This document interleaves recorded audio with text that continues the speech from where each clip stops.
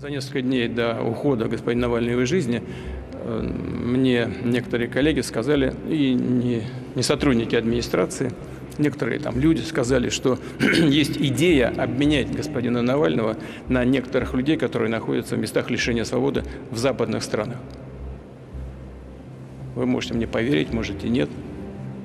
Человек, который со мной говорил, еще фразу не закончил. Я сказал, я согласен. Но, к сожалению, вот случилось то, что случилось.